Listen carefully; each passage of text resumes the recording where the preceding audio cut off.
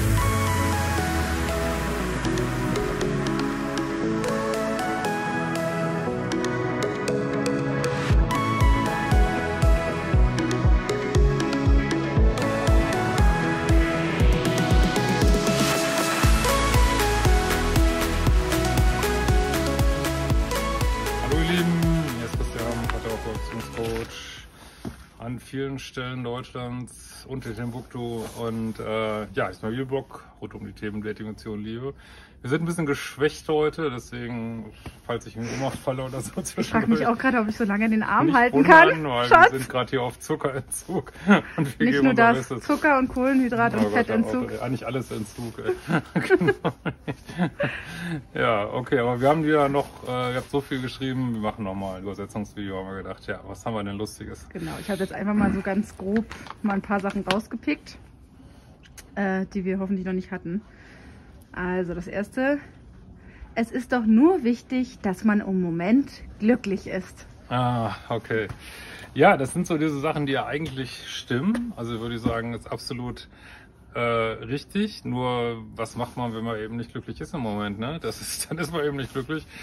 Und man kann sich ja nicht, also das ist manchmal, glaube ich, was in toxischen Beziehungen passiert, dass man sich so in Sachen reinredet. Ne? Also man denkt, es wäre eine gute Beziehung, man denkt äh, irgendwie, also man denkt sozusagen Gefühle, aber man fühlt sie eigentlich nicht wirklich. Wenn man sie wirklich fühlen würde, würde man sicherlich feststellen, tut mir nicht gut. Ähm, Täter-Opfer-Beziehung hatte ich schon, kenne ich schon, will ich nicht mehr. Also an sich ist es jetzt, also würde ich sagen, ist völlig richtig. Aber wenn es so gemeint ist, als ähm, du sollst nicht ansprechen, du sollst deine Standards nicht ansprechen, du sollst gefälligst die Klappe halten, dann ist es natürlich manipulativ. Ne? Dann, dann wäre es zu übersetzen, halt die Fresse. Ich will jetzt so weitermachen. So, ja. Ich musste gerade schon den Arm wechseln. Oh Gott. Okay.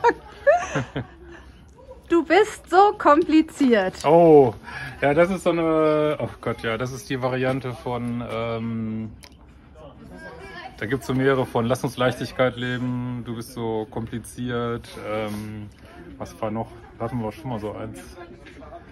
Ähm, na egal, auf jeden Fall.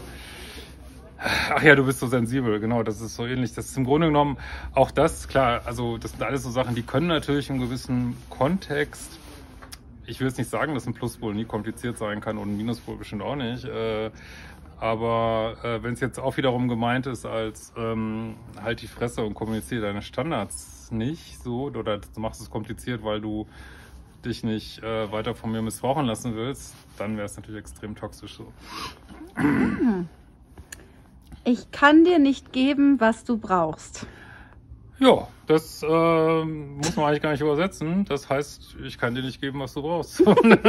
also, das heißt, wenn du eine Beziehung äh, hast, wo du denkst, möchtest deinen Partner drei, viermal die Woche sehen und äh, wobei das sind immer so Sachen, die man auch so denkt. Und wenn man dann wirklich vielleicht das erste Mal im Leben emotional verfügbaren Partner hat, dann merkt man vielleicht auf einmal, ups, äh, jetzt kommt ja mal eine Bindungsangst rein. Aber das lassen wir mal außen vor. Äh, nehmen wir mal, du denkst das, du willst deinen Partner fünf Tage die Woche sehen und äh, ja, du hast aber jemand, der will nur eine ganz dünne Beziehung führen, wo man, äh, was ich nicht, drei Wochen chattet und dann trinkt man mal einen Kaffee zusammen. Dann und der dann sagt, ich kann dir nicht geben, was du brauchst, dann heißt das, ich kann dir nicht geben, was du brauchst. Aber wenn das so ein Pity Play ist, also wenn du, wenn das sozusagen nur gesagt wird, damit du dann sagst, doch, doch, du bist ein ganz lieber und da so co-abhängig, äh, das wäre dann wiederum toxisch. Also auch vom, vom Pluspol, ne? Ist ja nicht nur der Minuspol, der so Quatsch macht manchmal. Ne? Das finde ich auch ganz schön. So bin ich nun mal. Wenn du damit nicht klarkommst, musst du dir einen anderen Mann suchen.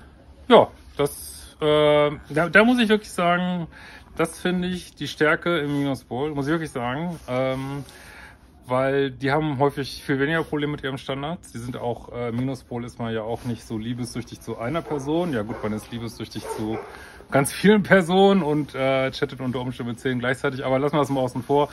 Ähm, das ist äh, die, eine Stärke im Minuspol tatsächlich. Dieses, ähm, also die haben häufig so Überstandards, das ist natürlich wieder zu viel, ne? Das ist ja alles, Extreme ziehen sich an, kennt ihr ja, äh, plus 5, minus 5 Skala in dem kostenlosen Artikel da mir auf liebeschiff.de könnt ihr das alles sehen. Da sind auch diese Skalas da drin und so. naja, also Extreme ziehen sich an und ja, ähm, das ist eigentlich äh, ja eine, eine gute Sache vom Minuspol, dass er, dass der einfach einen klaren Standard setzt und sagt, äh, ja, sorry, äh, ich bin nicht bereit, äh, jetzt deinen Ansprüchen äh, zu genügen. Da musste jemand anders suchen. Und das ist eigentlich, das sollten Pluspole auch viel öfter sagen, sowas meiner Ansicht nach, sollten sie lernen zu sagen, oh, ich muss glaube ich, jemand anders suchen. Das passt einfach nicht. Wir sind einfach nicht kompatibel. So, ne?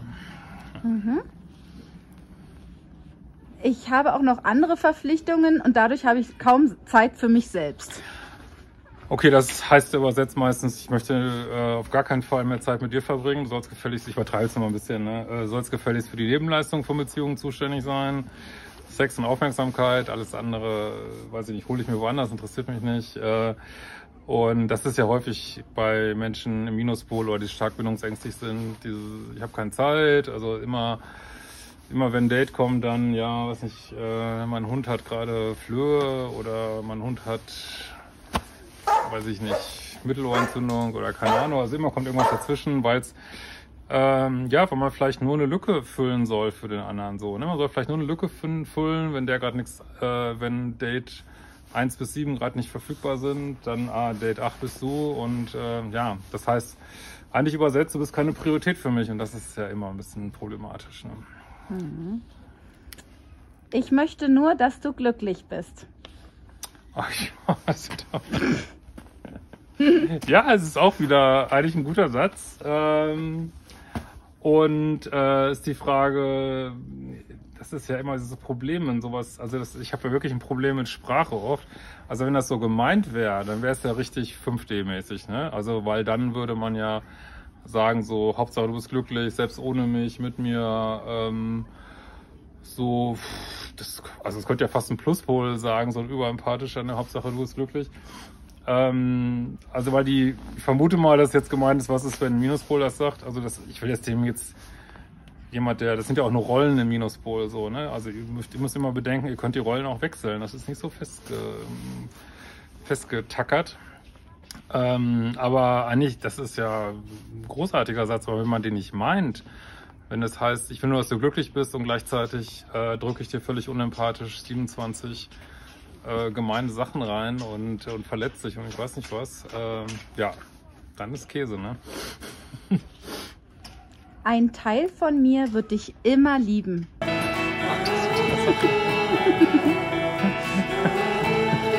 Ja, das hört sich so ein bisschen, ich weiß ja nicht, äh, die Situation, das hört sich an nach so einem Hoover, also dieses, äh, man ist schon getrennt und ähm, hat sich mühsam rausgequält aus einer toxischen Beziehung. Der andere kommt dann wieder an und will dann wieder zurückhaben, damit er einen weiter durch die Wurst drehen kann.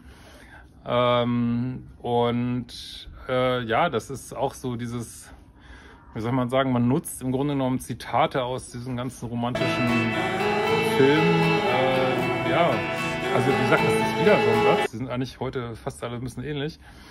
Äh, die stimmen ja auf eine Art. Also sicherlich liebt man mit einem Teil von sich, liebt man sicherlich auch Partner, mit dem man schlagen nichts mehr zu tun hat. Und wir dürfen uns ja auch alle lieben. Ne? Da ist ja überhaupt nichts falsch dran. Aber es hört sich für mich so ein bisschen an wie, äh, ich möchte dich gern mit richtig schönen Obergesülze, möchte ich dich gern wieder zurückholen. So hört sich das für mich jetzt an in diesem Kontext hier. Äh, und ja, also dann so, vielleicht sollte man mal das wieder so ein so eine Verballhornung von Sprache dann, äh, wieso hat das denn bisher nicht geklappt, ne? wenn, wenn man so liebevoll ist? Wieso ist die Beziehung überhaupt auseinandergegangen? Ne? Das wäre dann die Frage. Ne? Du bist die erste Frau, die ich heiraten wollte. Oh, oh. Ja, das ist so richtig äh, Gaslighting des Grauens. also ich will es nicht ausschließen, wenn man so einer richtigen toxischen Verliebtheit ist, aber wenn du, oder wenn jemand 20 ist oder äh, keine Ahnung, aber wenn jemand, sag ich mal, über 30, über 40 ist und sicherlich dieses Muster ja nicht plötzlich verändert hat, also halte ich es für höchst fragwürdig, dass sowas nicht schon mal gesagt worden ist. Aber mein Gott, vielleicht sollte man mit einem äh, nachsichtigen Auge drauf gucken und es einfach diese Sachen einfach nicht so ernst nehmen. Also und ja, und wenn das ähm, wenn ihr, also man kann das immer ganz leicht rauskriegen, indem man einfach es ernst nimmt, so ein Spruch, ne? Dass man sagt, ja, prima, komm, hier, lass uns Aufgebot bestellen. Äh, Und äh, ach, Aufgebot gibt's ja nicht mehr. Aber lass uns machen, alles klar, wo ist das Terminbuch? Dann sieht man ja, ob es wirklich nur Quatsch ist oder ob es wirklich ernst gemeint ist. Ne? Ja. Der letzte?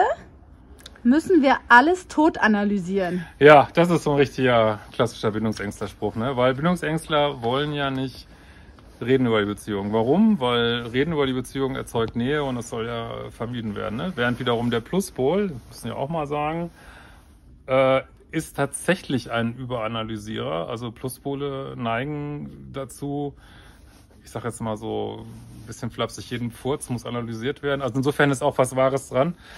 Aber so in diesem Kontext, wie es wahrscheinlich gemeint ist, heißt es äh, tatsächlich, ähm, ja, ich habe keinen Bock über unsere Beziehung zu reden, weil ich, wie ich hier schon, nur die netten Sachen mitnehmen möchte und ich möchte auf gar keinen Fall irgendeinen Terz haben, dann bin ich sofort wieder weg. Auch hier kann man wieder sehen, wie Minus- und Pluspol sich ähm, zwei Seiten des Extrems bilden, weil das ist ja an sich in Ordnung zu sagen, ich hätte gerne eine Beziehung so und so. Selbst wenn jemand jetzt sagt, ich möchte eine Beziehung haben, äh, wo überhaupt nicht über die Beziehung geredet wird. Nur da muss man halt akzeptieren, dass man wahrscheinlich äh, nur so kurze Techtels hat und es dann nach drei Monaten auseinandergeht. Und das ist wiederum die Fantasie, in der der Bindungsängste häufig ist, dass er tatsächlich Beziehungen möchte, nur er möchte nicht dran arbeiten, er möchte diese Nähe nicht aushalten, weil es ihm wieder, weil das irgendwelche, keine Ahnung, Ängste, Traumata, sonst was hochholt. Ähm, da muss man ganz klar sagen, äh, ja sorry, wie sollen wir eine Beziehung haben, wenn wir nicht über Kram reden? Natürlich kann man drüber reden, jetzt muss man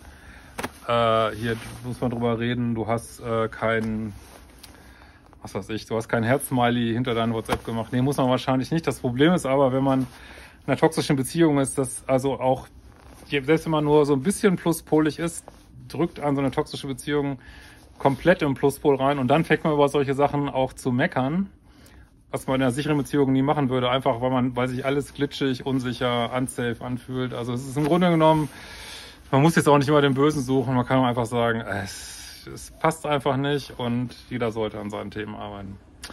Okay, ihr Lieben, äh, vielleicht sehen wir uns, ich weiß gar nicht, ob ich das hochlade, ich hoffe noch, wenn ich die Kraft aufbringe, dann ähm, noch vor Silvester. Und genau, wir beide müssen jetzt erstmal wieder über Essen reden, stundenlang. Das war den ganzen Tag immer. Vielleicht können wir hier einfach am Schnee lecken. Guck mal. genau. Wir stellen uns vor, das ist Puderzucker. Das ist, das ist Eis aus der Fußgängerzone, wie im Sommer. Oh Mann. Hunger. Wir werden uns mal wiedersehen. Ciao.